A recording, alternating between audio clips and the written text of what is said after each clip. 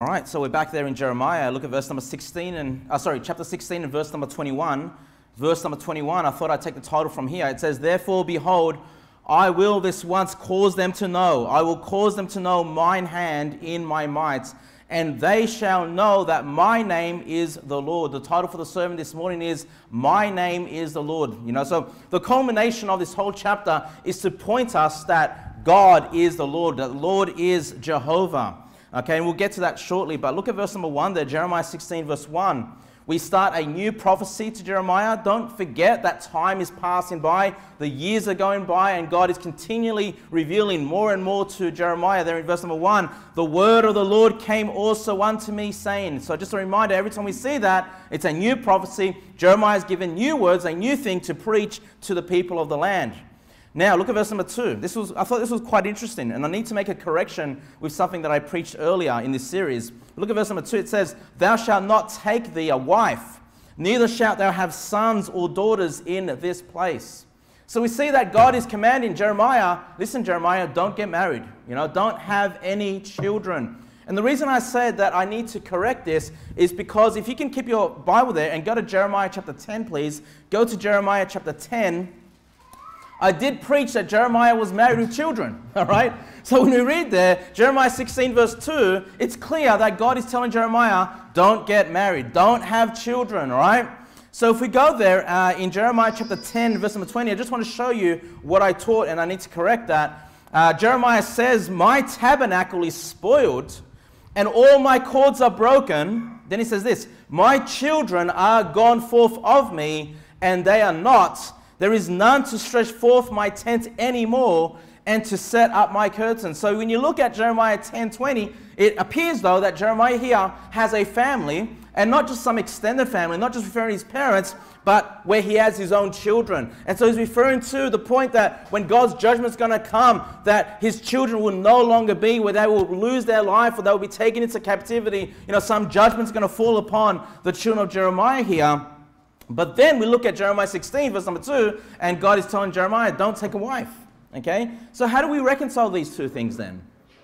It does, it does appear, you know, there in Jeremiah 10 that he does have children, doesn't it? Okay? But we see there, Jeremiah 16, he is not to take a wife. Now, of course, what we learn here is a couple of things. Number one is that marriage, generally speaking, is for everybody. You know, as a, as a general rule of thumb, God wants us all to get married. I mean, that was his plan from the very beginning in Genesis 1 when he gives Eve unto Adam. He says, Be fruitful and multiply, and they have children. Of course, that's God's plan, all right? But there are some exceptional cases, like there in Jeremiah, where God is saying, Look, I don't want you to get married. I don't want you to have children. God is given a direction, a commandment specifically to Jeremiah. But so when we read Jeremiah chapter 10, we see that Jeremiah is expecting or has that expectation that I should get married, right? As a man, I should get married. As a man, I should have children because Jeremiah understands that is the common role, that is the common expectation that God has on a man. And so Jeremiah is looking there in Jeremiah, in Jeremiah chapter 10 how God's judgment's going to fall in the land. And he's saying, Well, what's going to happen to my children? What's going to happen to my family that I'm expected to have? Okay, but once we get to Jeremiah 16, we see that that has not yet taken place. And God is telling Jeremiah, Don't have the children. All right? So I don't want you to think that, you know, uh, God's preference is to not get married and not have children. Okay, that is for some very exceptional circumstances. We're going to look at that. And Brother Ash, we were talking about that just yesterday, right? So it's good that this topic comes up. You know, it, you know, is it more right to remain unmarried or is it better to be married? No, the general rule, Jeremiah's expectation was, I need to get married one day, have my own family. Again, God is saying specifically Jeremiah, but not in your case, okay? I don't want you to have children. We're going to learn why. But first, let's understand this idea. Why is it that God has some exceptional cases where he does not want somebody to get married. Well, if you can, keep your finger there in Jeremiah 16 and let's go to 1 Corinthians chapter 7. Let's go to 1 Corinthians chapter 7, please.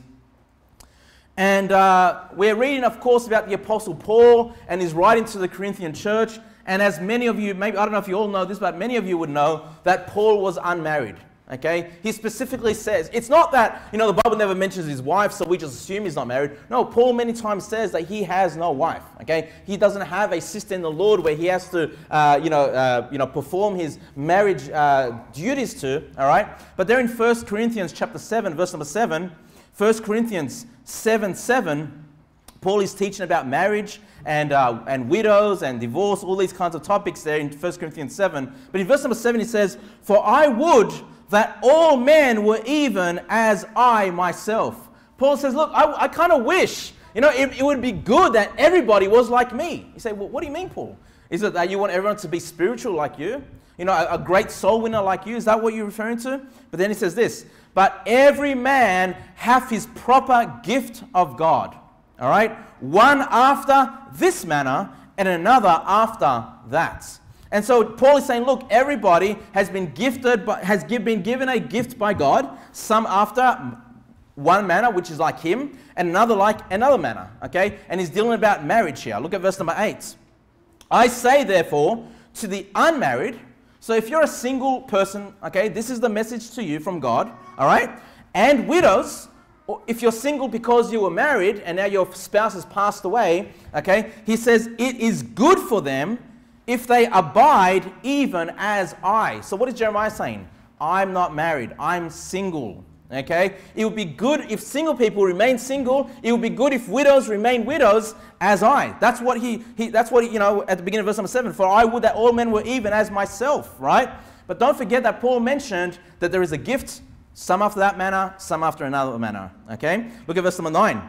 But if they cannot contain, let them marry for it is better to marry than to burn.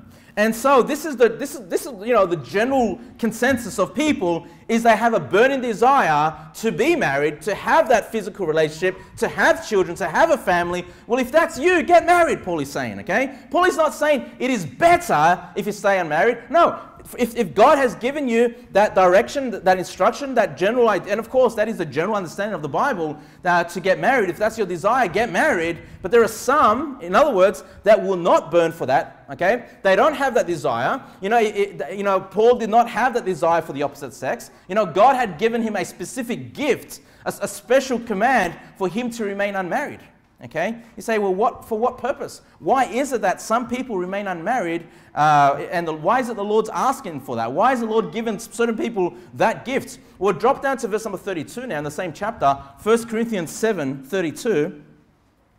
1 Corinthians 7 32, because it says this But I would have you without carefulness. So Paul is saying, look, it, it's better to not have too many cares in your life, okay? He says this For he that is unmarried, careth for the things that belong to the Lord, how he may please the Lord. Interesting, huh? So if you're single, or if you're a widow, you're, you know, you ought to be seeking, how do I please the Lord? All right? Now, look at verse number uh, 33. But he that is married careth for the things that are of the world. Now, this is not talking about, you know, worldliness, not talking about the sinful lust of the flesh. That's not what he's referring to. He says here, how he may please his wife. Okay? So if you're married, your priority ought to be to please your wife. If you're a wife, your priority ought to be, how do I please my husband? And if you're single, if you're a widow, your priority ought to be, how do I please the Lord? Okay? So what Paul is saying is this, okay?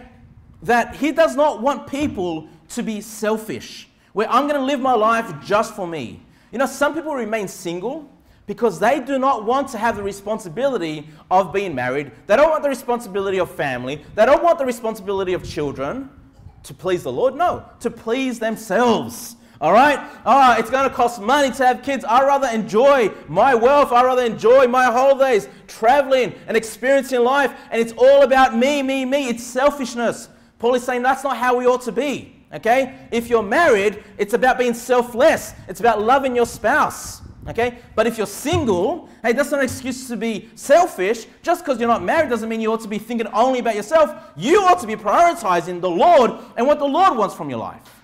And so, brethren, if you're single today, if you're a widow today, you ought to be thinking not what can I get out of the world, but what does God want from me? You know, you're going to be able to do greater things for the Lord.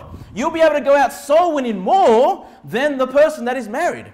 I understand that. I understand that being a husband with children, you know, my family takes up a lot of my time. And it's good. I, I, don't complain about that, okay? We see that is the proper role. If you're married, you're meant to be looking after your family. But if you're single, you ought to be prioritizing the Lord first and foremost, all right? So, this is God's method to prevent selfishness. Whatever state you find yourself in, you ought to be uh, looking out for someone else's needs. Now, if in the same chapter, drop down to verse number 28. Because you might be saying, well, then is it wrong to get married? I want to please the Lord. Listen, even the married person pleases the Lord. Okay? Being married pleases the Lord. Having children pleases the Lord. Okay? But your priority is your family. I can't say, well, you know what? I'm going to dump my wife and kids because I just want to go and please the Lord. I'm going to put God's work first in my life and I'm just going to dump my family because they're getting in the way. They're taking up my time. No, that is the proper responsibility of a married person. That's what God wants. That's what God expects is to raise a godly family. All right, look at verse number 28. It says, that same chapter, uh, but, but, and if thou marry, thou hast not sinned. Okay, getting married is not wrong. It's not a sin. Okay, just in case you're wondering, right? No, it's, it's, it's proper, right? In case you're misunderstanding what, what Paul is saying here. And if a virgin marry, she have not sinned. Nevertheless, such shall have trouble in the flesh, but I spare you. So it says, look, if you're married, you're going to have other troubles. You're going to have other concerns. You're going to have concerns about your wife. You're going to have concerns about your kids. He goes, but if you're single, I'm trying to spare you from that in case God has given you that gift to remain single to only please the Lord. But you can see this is something very unique, something very special that God gives to certain people. You know, you know as much as I do, the majority of people have that burning desire to be with the opposite sex, to get married, to have children, right? That, that is the common nature that God has put within man. But God can alter that by giving people a special gift where they can remain single, unmarried, and they're very happy in that, in that way, okay? But if you're looking at that single, unmarried person and all they do is live for selfish desires, that's not the person. Okay? Not only is it about being single and, and, uh, and not, not wanting to get married, but that their passion and desire is only for the Lord, to serve the Lord, to do His work. All right, so if you can please turn to 1 Timothy chapter 3 for me, please. 1 Timothy chapter 3. And look, I don't know. You know, there could be someone in this church, could be one of my kids. I, I kind of don't want it to be my kids because I'm looking forward to the grandchildren. Okay? But there could be someone, right? Or someone that comes in late in our church that has been given this special gift by God, but they just have no desire to get married at all. Now, kids probably have no desire right now to get married, right? Once you hit those teenage years, you're going to be thinking about these things, right? But, you know, and, and they need to understand that they're not unusual, that they're not weird. Well, maybe they are a little bit unusual, okay? Because, but God has given them a special gift. They've got a special purpose to serve the Lord with their lives. 1 Timothy chapter 3, please.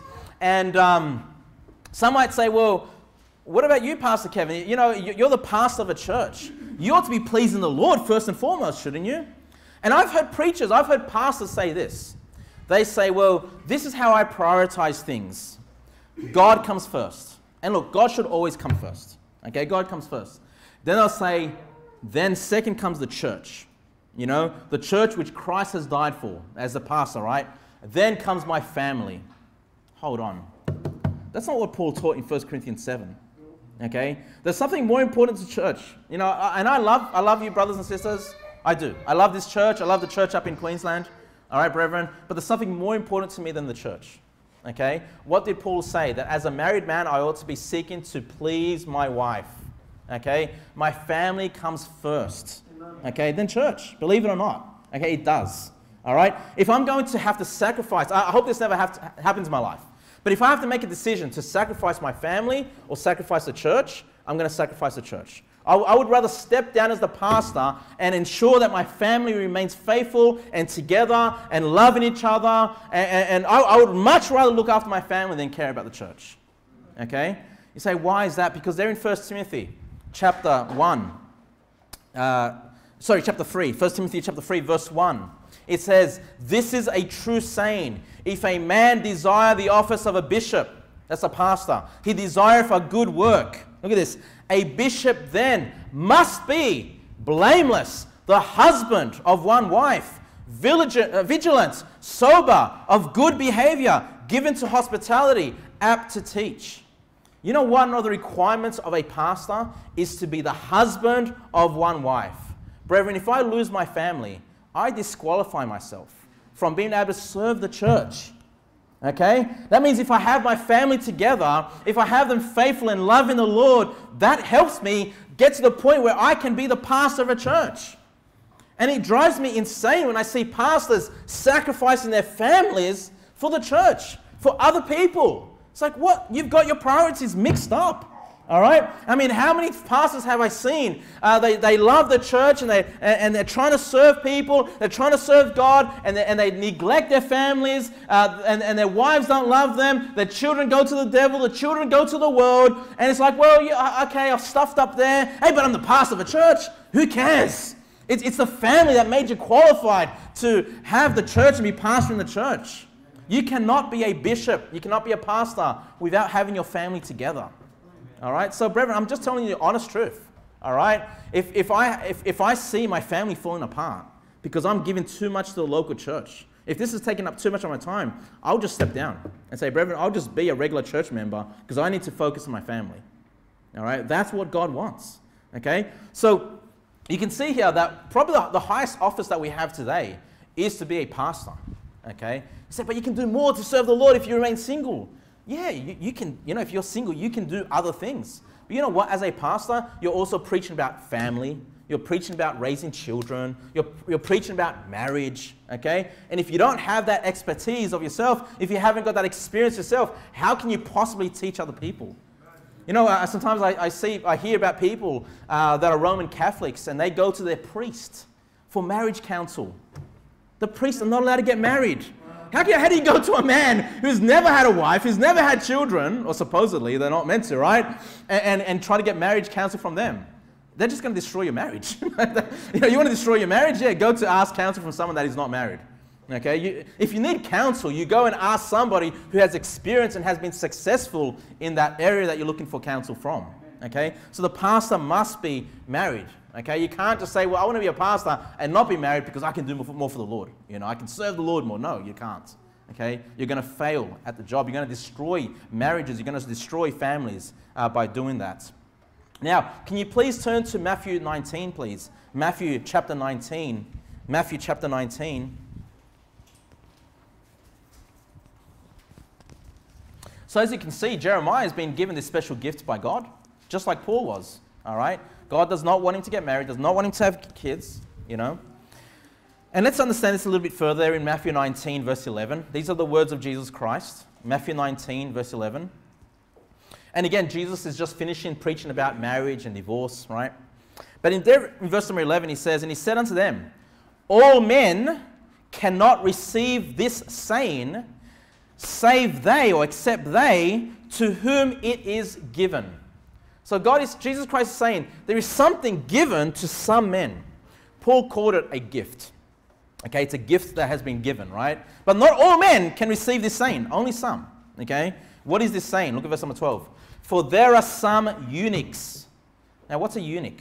A eunuch is a man who cannot, or well, has no uh, desire for the opposite sex, basically. We'll have a look at this. For there are some eunuchs, look at this, which were so born from their mother's womb. Now let's stop there for a minute. This is speaking about eunuchs. You know, all of us have genetic defects. Did you know that? You know, we're not genetically perfect, but we still operate quite well. God's creation is amazing. Okay, we all have genetic, you, you, you understand this, right?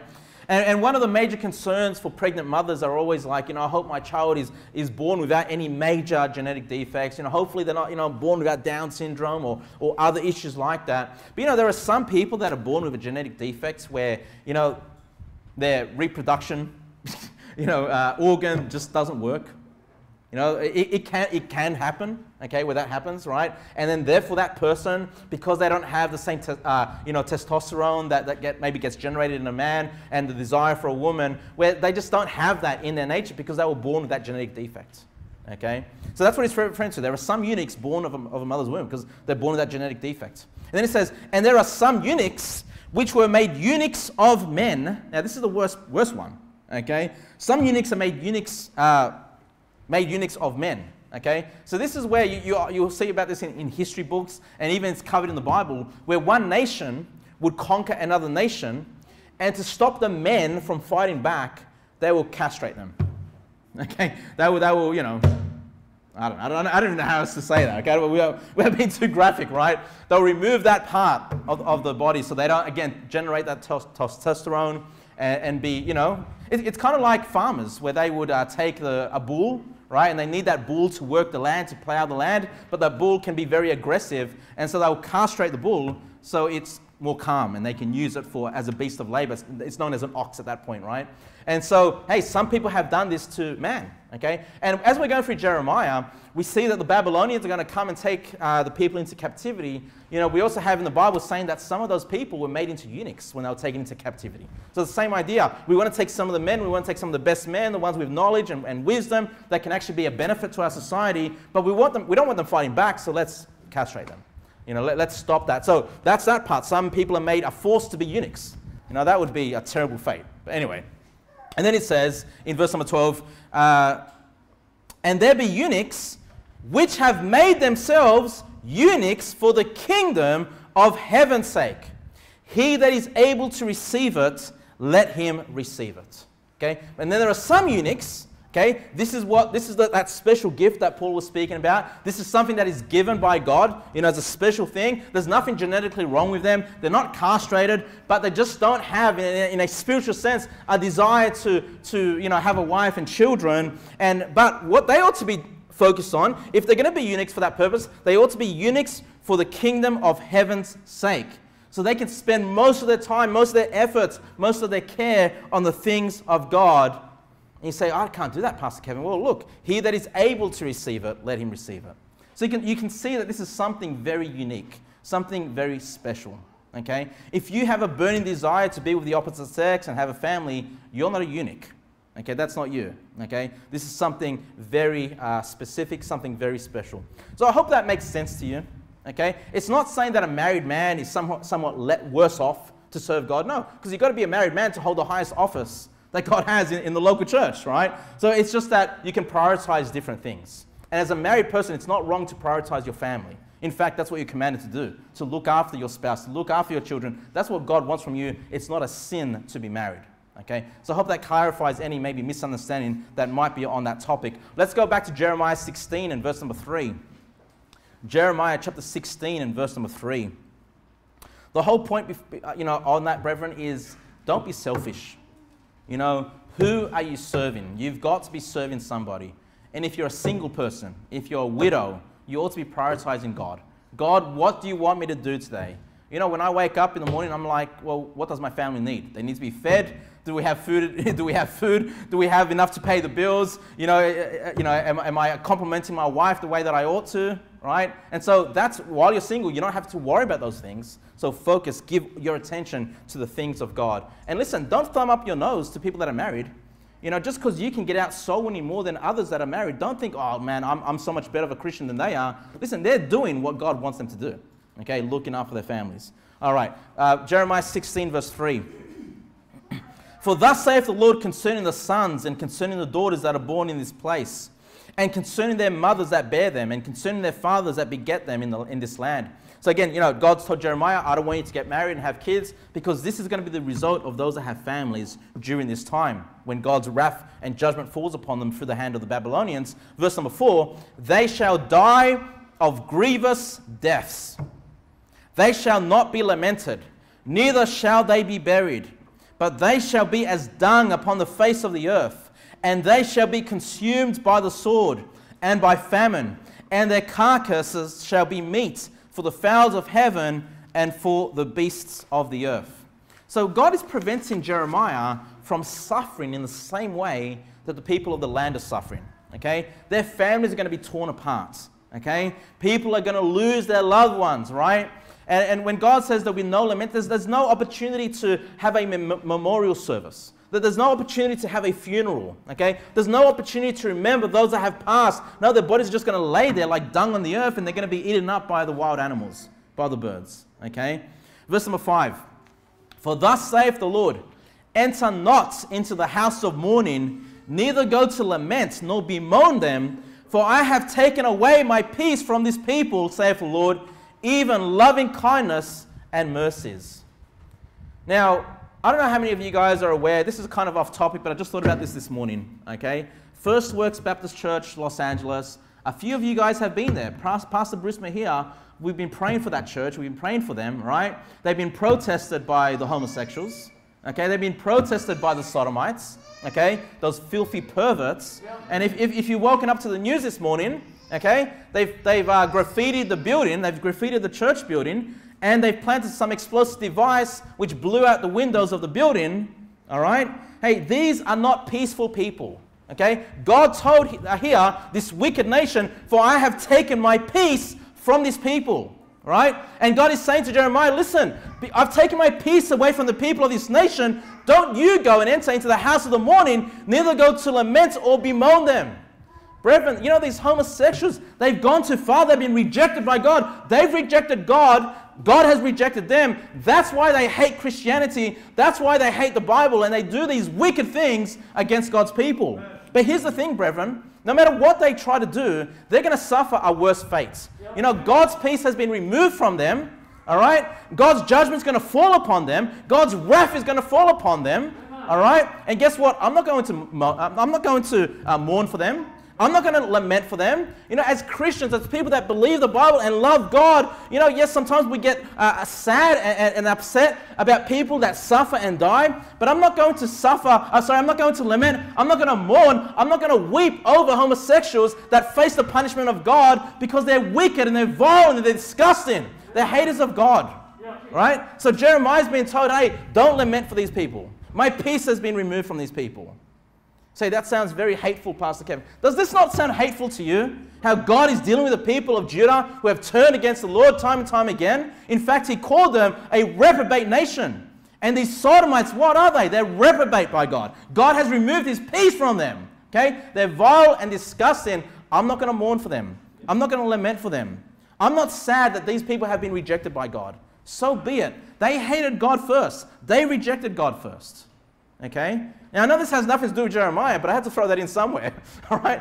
But listen, you know, I, I, support First Works Baptist Church. I support Pastor Bruce here. We ought to be praying for them. Okay? They're our brothers and sisters in the Lord. We're going we're gonna see them in heaven. Okay? We're going to be with them for all eternity in heaven. And I want to be able to uh, face those people and say, hey, we love you. We support you. We've been praying for you.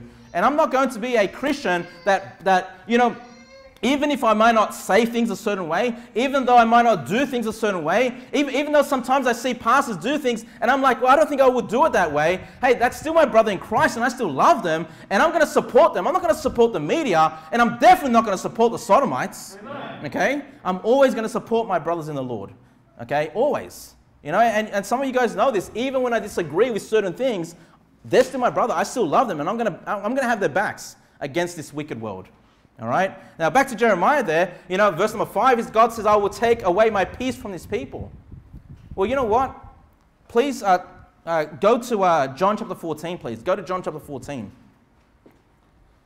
Because we live in a time where peace is being removed. You know, people are, are fearful, people are concerned uh, keep going on about the virus. I'm sick of talking about the virus. But anyway, this is, you know, we're, we're in the situation that we're in, and, and people are fearful, people are concerned. And, and you know, it, it, almost feels like some of that peace has been removed, and we might get agitated, we might get frustrated about everything that's going on in this world. And, you know, you wouldn't be the only one because your pastor also gets frustrated about these things.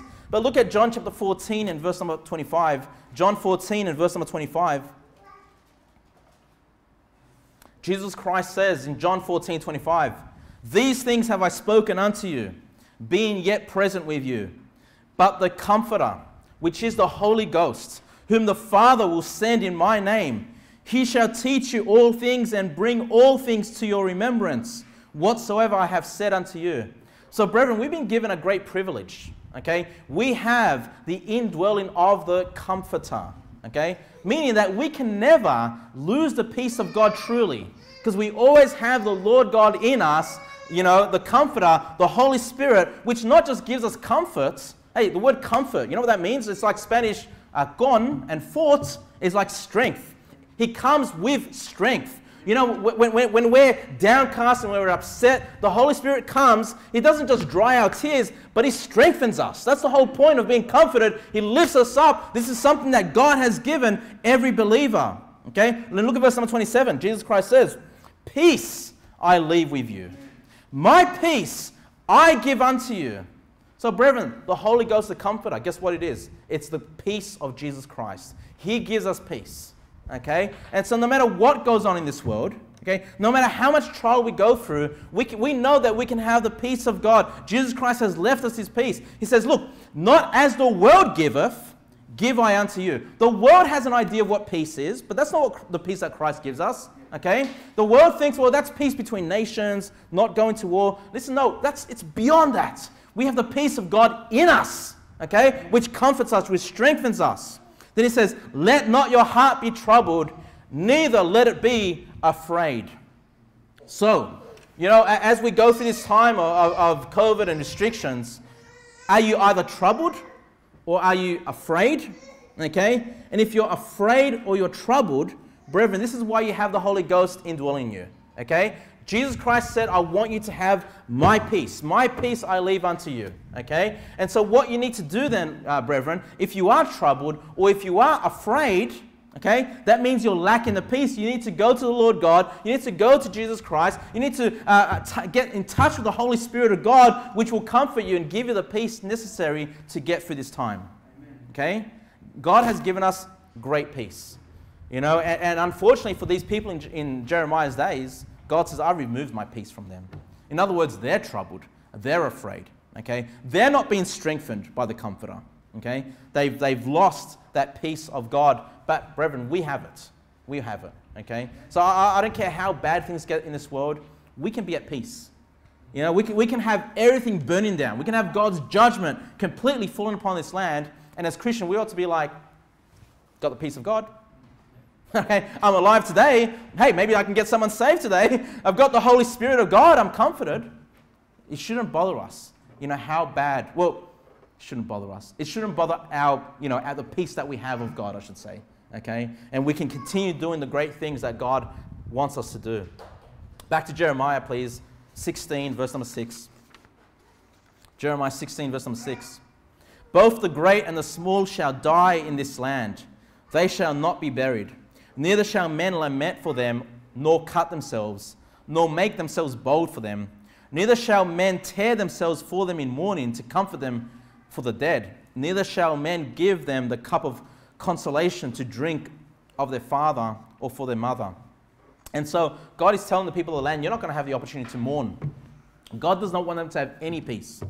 Okay, because just a reminder in Matthew 5 4, Jesus Christ said, Blessed are they that mourn, for they shall be comforted. God is saying, Look, I don't even want to comfort you. In other words, I don't even want you to mourn.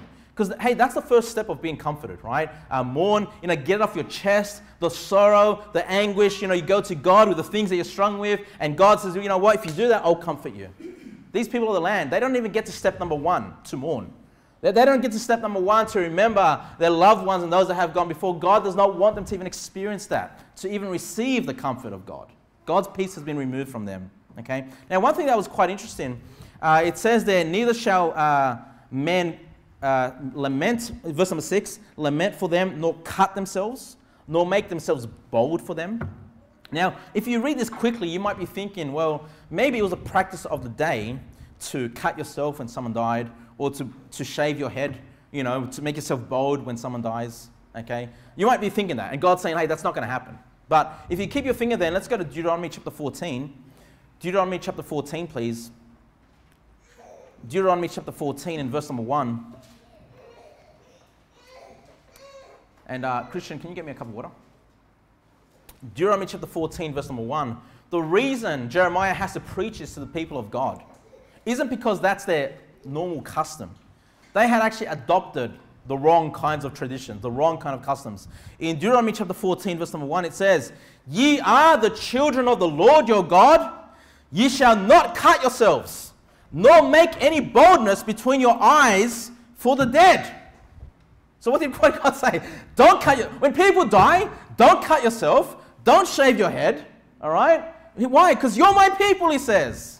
Let's keep going. Look at verse number two. For thou art an holy people unto the Lord thy God, and the Lord have chosen thee to be a peculiar people unto himself above all the nations that are upon the earth. So God says, Look, I need you to be peculiar. You're my people. You need to be different from the rest of this world. So when people die, don't cut yourself. Don't make yourself bold. Because if you do that, all you're doing is following the pagan traditions of the Gentiles. And God says, I don't want you to conform yourself to the way of the Gentiles. I don't want you doing these things that make it look like you're the Gentiles. No, you're my people. So what's happening in the day of Jeremiah? They're not acting like the people of God.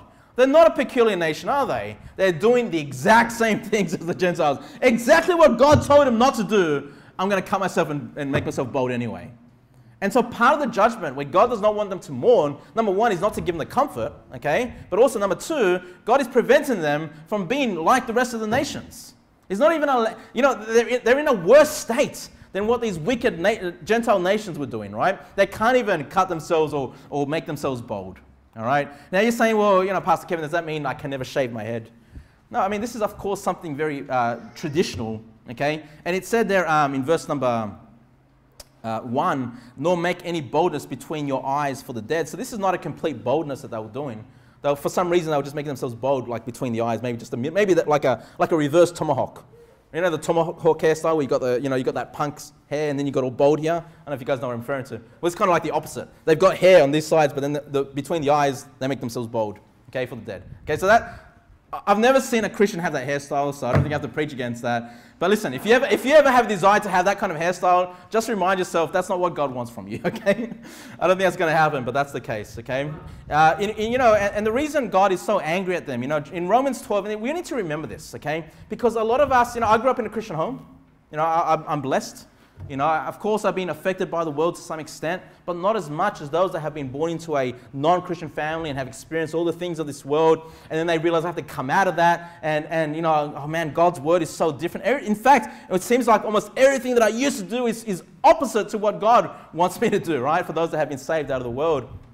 And we need to remind ourselves that we are the people of God. We are a peculiar people. And we ought to not conform ourselves to the rest of this world. We ought not to look like them. We ought not to behave like them. We ought not to react like them. Okay? Because in Romans 12, 2, it says, And be not conformed to this world, but be ye transformed by the renewing of your mind, that ye may prove what is that good and acceptable and perfect will of God. You know, whatever you do, brethren, however you, you live out your life, the clothes that you wear, you need to ask yourself the question, you know, is this pleasing to God? Is this good? You know, is this acceptable by God? And if it is good and acceptable by God, then go ahead and do it. Okay? But if you say, well, this is not pleasing to God, God will not accept that. And in fact, if I do this, I'm going to be just like the world. Well, that's something you need to renew in your mind. You need to be that peculiar people, right? That was a problem with Judah. They had gone the way of the world. You need to keep yourself safe from being like the world. Back to Jeremiah 16 and verse number 8. Jeremiah 16, verse number 8. God tells Jeremiah, Thou shalt not also go into the house of feasting, to sit with them to eat or to drink. For thus saith the Lord of hosts, the God of Israel Behold, I will cause to cease out of his place in your eyes and in your days the voice of mirth and the voice of gladness, the voice of the bridegroom and the voice of the bride. So basically, God is telling Jeremiah, listen, I don't want you to mourn for those that are dying and suffering. At the same time, I don't want you going and partying it up with, with the, because right now God's judgment has not yet fallen, right? So the people of the land, they're still going about and enjoying life and partying and, and, and having their feasts and having their good time and, you know, getting married and all the celebrations that go with that. God's telling Jeremiah, I don't want you to participate in that, okay? And uh, so we just see this, this challenge that God has given Jeremiah. Don't mourn, don't rejoice. Okay? I just want you to be focused. Again, this kind of reminds me of the job of the eunuch for the kingdom of God's sake. Your priority, your focus needs to be on the things of God. All right? Verse number 10. And it shall come to pass, when thou shalt show this people all these words, that they shall say unto thee, Wherefore have the Lord pronounced all this e great evil against us? And what is our iniquity? For what is our sin? that we have committed against the Lord our God. So Jeremiah is preaching all this damnation, all this judgment. And what are, what are the people of the land saying? Well, why are you preaching about this? Why, why are you telling us that God's going to destroy us? What's our sin? We've not sinned against God. What, what iniquity are you talking about, Jeremiah? Now, look, are they being sarcastic or do you think they actually really believe that? You know, I, I think they truly believe that they're right with God. I, I believe that they truly think we've not sinned against the Lord.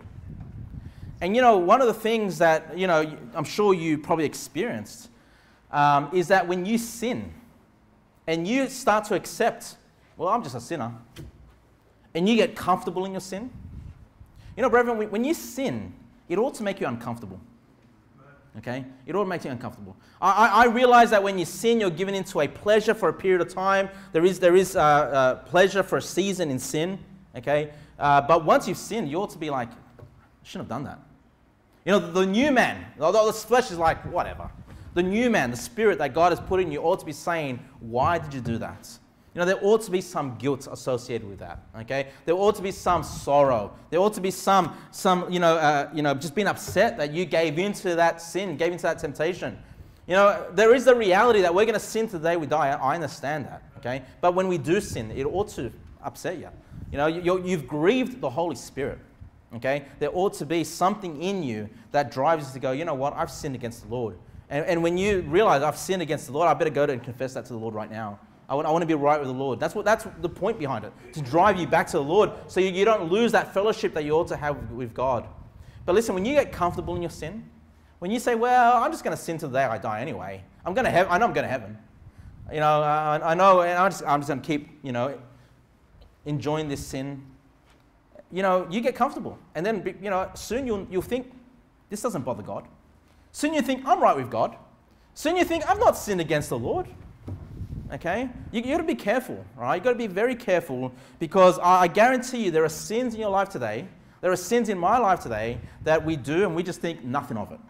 You know, we, we've gotten so comfortable, we've gotten so used to it, okay? And we just think there is no iniquity. There's, why, why? What, what, what's wrong with that? Okay? And so, you know, the Bible speaks about searing your, your conscience. It, it's possible, and this has more to do with false prophets and maybe even reprobates. But you know what? It is possible, you know, that, that certain sins, as a Christian, as, as a Christian, as Christian people, as saved people, that we just get so comfortable and we, we just don't even think about it anymore. We don't even confess it to the Lord anymore. We, we don't even blush about it anymore. We don't even get ashamed about it anymore, right?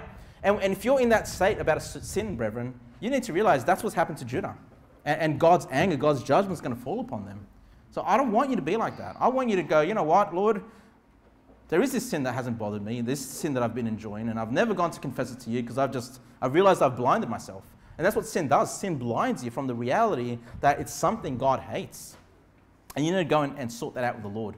You know, ask God to give you that burning, that hatred, you know, against that sin that you enjoy so much. Verse number um, 11. Then shalt thou say unto them, Because your fathers have forsaken me. So, sorry, the, the question was, why is God going to judge us? Why are you telling us this stuff? Okay, well, this is why. Then thou shalt say unto them, this is how you respond.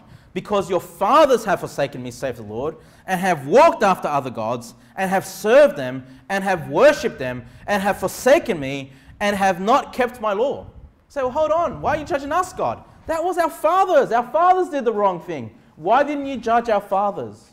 Don't forget, God is long suffering. Don't forget, God gives people time to get things right.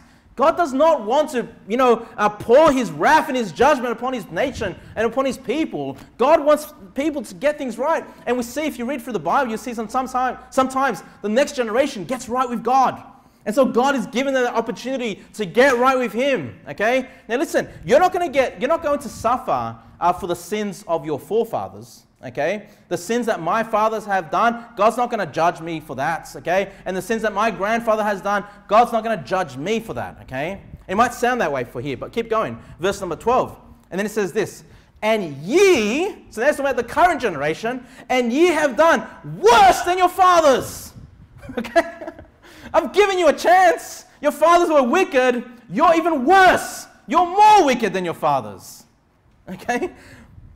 For behold, Ye walk everyone after the imagination of his evil heart, and they have not hearkened unto me.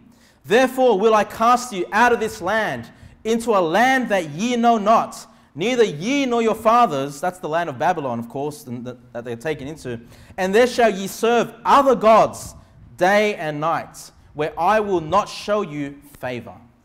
All right, so we see the judgment of God once again uh, that uh, they're going to be taken into captivity into a land that they did not know. Okay, they were so comfortable in the land, God's going to take them away. They're going to worship other false gods, you know, the gods of the Babylonians, uh, instead of the gods they wanted to worship. Now, there is a major theme in the book of Jeremiah, and this has to do with the imagination of your heart. And that's what God just mentioned there, right? That they had done according to the, the wickedness of the, the imagination of their heart. Yeah, as you're reading for Jeremiah, you'll notice that God keeps bringing this up time and time again. So I want you to keep your finger there. Let's go to Genesis chapter 6. Genesis chapter 6. And I know I've already preached on this. But you need to remember, okay, that our hearts are wicked. Okay? You just need to remember this. I don't care how right you are with God right now. I hope you're right with God. You know, I hope you're walking with God. I hope you're picking up your Bibles and you're praising God and you're serving God. Uh, you know, yes, but at the same time, don't forget, your heart is wicked. And if you give into the imaginations of your hearts, you're going to end up in a bad place. Okay? And uh, listen, there's nothing good in your heart. There's nothing good, all right? You know, it, this is why we need God's word. This is why we need God's heart. We need God's will, all right? And we submit our will to the will of God. And we know that's going to be good for us, okay? God wants the best for us. But if we give into our heart's desires, brethren, it's going to be a disaster. A disaster, okay? It's always going to be contrary to the things of God, all right?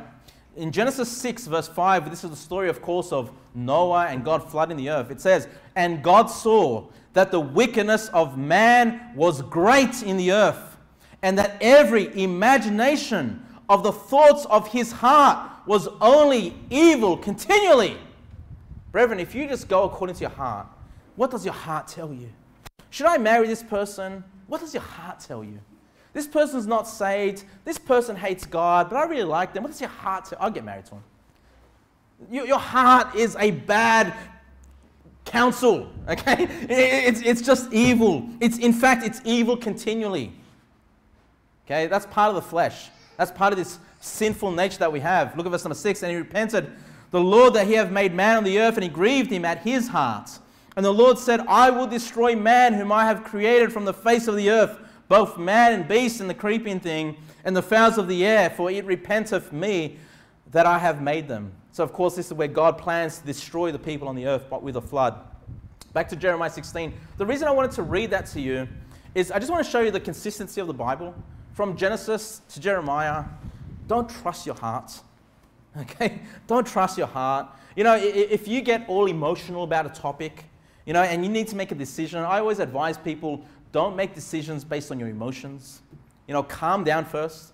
You know, just, just get rest. Take a day, get some sleep, think about it, give a few days, you know, think about things logically, think about things biblically. Don't react out of your heart, okay? Because this is where strife and turmoil and just bad decisions come from when you just follow your heart. Okay? And I'm telling you, it's going to be against the will of God all the time, continually. Okay? This is why we're commanded to walk in the new man. We're commanded to walk after the Spirit of God. Okay? Back to Jeremiah 16, verse 14. Therefore, behold, the days come, saith the Lord, that it shall uh, no more be said, The Lord liveth, that brought up the children of Israel out of the land of Egypt. Now, this is not something negative, okay? It sounds negative, but look at verse number 15. It says, But the Lord liveth that brought up the children of Israel from the land of the north, the land of the north is the Babylonians, and from all the lands whither he had driven them, and I will bring them again into their land that I gave unto their fathers. So he's not saying you're going to forget about how God delivered you out of Egypt. But no, there's going to be a more present thing that you speak about, all right? You're still going to, verse number 15, say, The Lord liveth. But you're not going to be saying, The Lord liveth because we came out of Egypt. You're going to say, The Lord liveth because we came out of Babylon. Okay? And so God is again giving them the hope.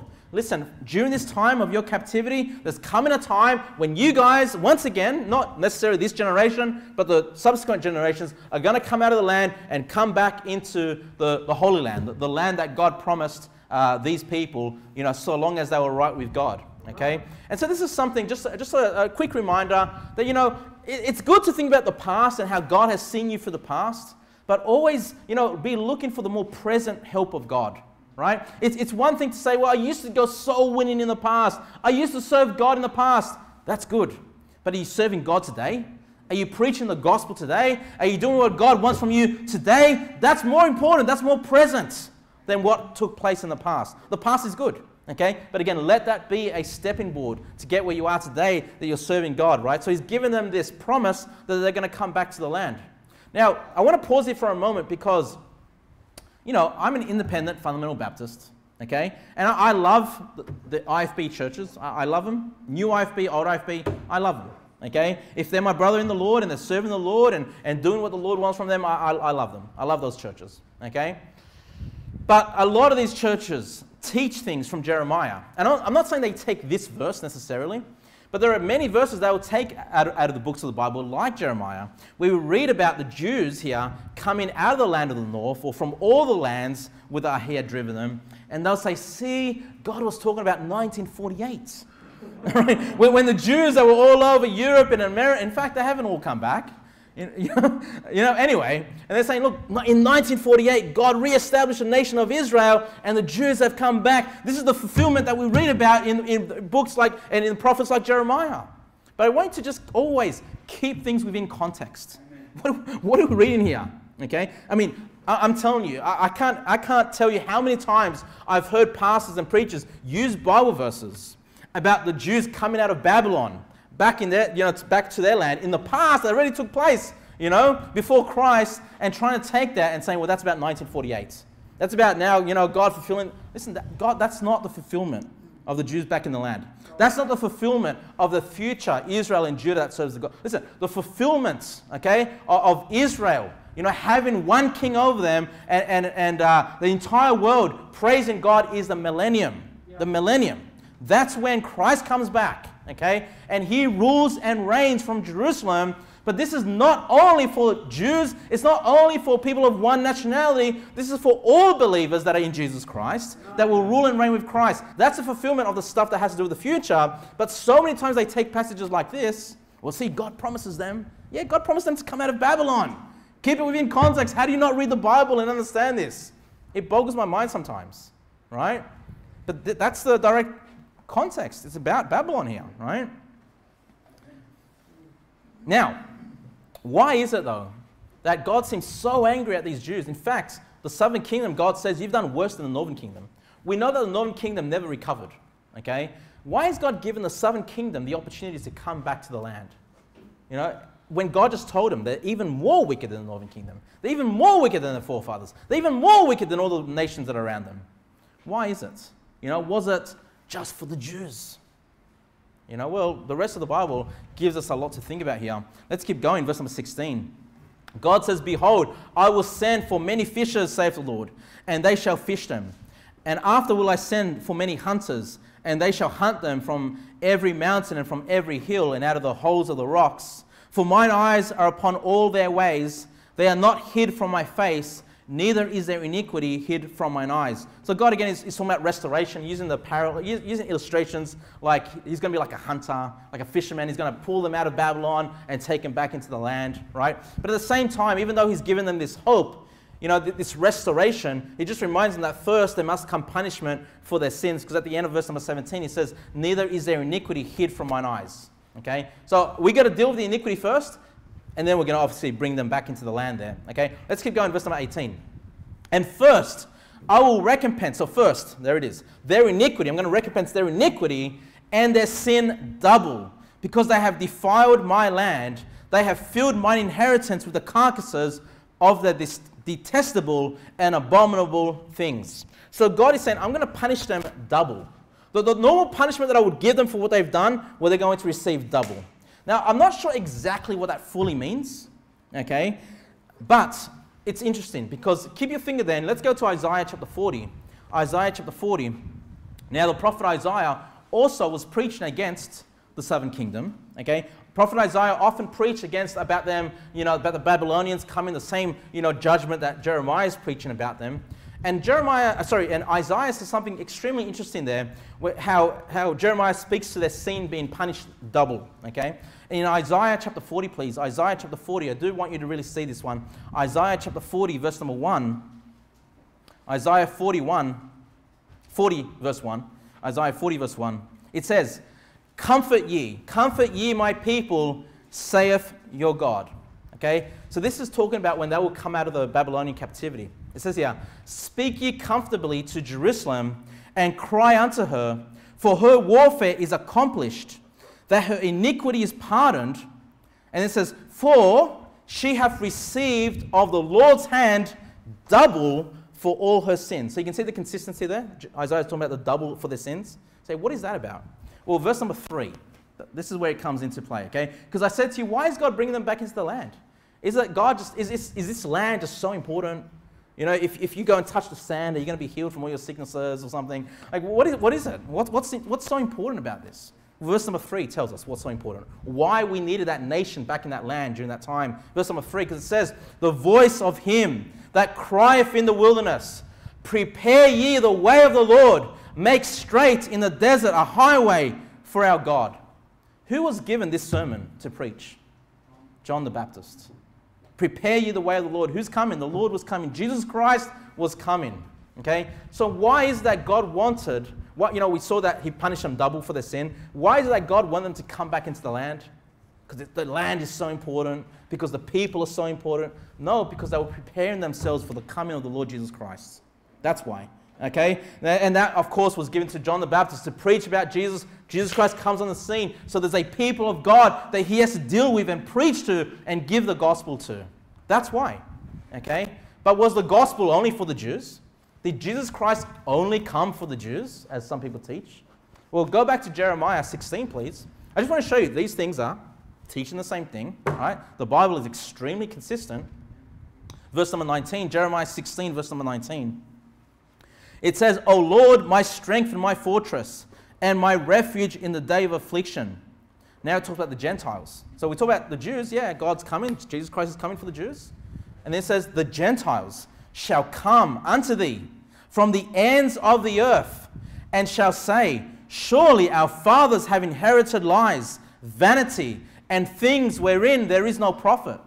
So the Jews are going to realize we've inherited lies. We've inherited vanities. These false gods, these false religions. It's all vain. It's all lies, some, some Gentiles are going to be saying, right? Verse number 20. Shall a man make gods unto himself, and they are no gods? So you can see it's talking about idols and false gods that they worship. God says this in verse number 21. Therefore, behold, I will this once cause them to know. Who's them? The Gentiles. Okay, the Jews there and the Gentiles cause them to know I will cause them to know mine hand and my might, and they shall know that my name is the Lord. Okay? So we end chapter 16, where the whole purpose of Jews coming back into the land, oh, it's just for the Jews. No, it's so Jesus Christ would come into the scene and preach a gospel to this nation oh, just to the Jews. No, to the Gentiles as well. So the Gentiles realize, hey, this Jesus, this sacrifice, this, this God man, this Son of God who's come to die for me, that's so much better than the vanities that I've inherited from my fathers. It's so much better than the Buddhism, so much better than the, than the, the Hinduism, so much better than the atheism, these, these things that we believe. Jesus Christ is so much better. Praise God, because so many of you are Gentiles, so, you know, right? And, and, so many of you have come from false religion. And you say, that's nonsense, it's stupid. Thank God for Jesus Christ. Thank God that salvation is a free gift through his sacrifice. And so that's what you need to understand, right? Jeremiah 16 might not, you know, when you read by itself, it doesn't seem that way. But when you put it together with Isaiah, okay, and you go back, oh no, God's got a plan for the Gentiles as well. Okay? God loves the Gentiles as well. The whole point of the nation of Israel was for them to be a light to the Gentiles. Okay? But because they failed, God judged them. All right? But they're coming back into the land so the way they once again can be a, a blessing to the Gentiles through the preaching of, you know, John the Baptist, preaching about preparing the way of the Lord, speaking about that Christ is going to come and be the light to not just the Jews, but to the Gentiles also. All right, let's pray. Heavenly Father, Lord,